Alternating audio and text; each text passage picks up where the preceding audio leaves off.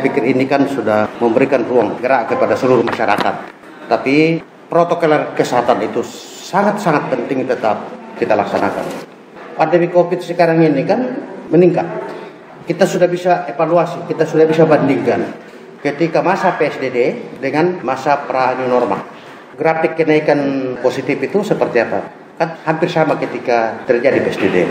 Nah, yang paling pokok dan paling utama sekarang ini adalah masyarakat harus punya kesadaran menjaga dan tetap mematuhi protokol kesehatan.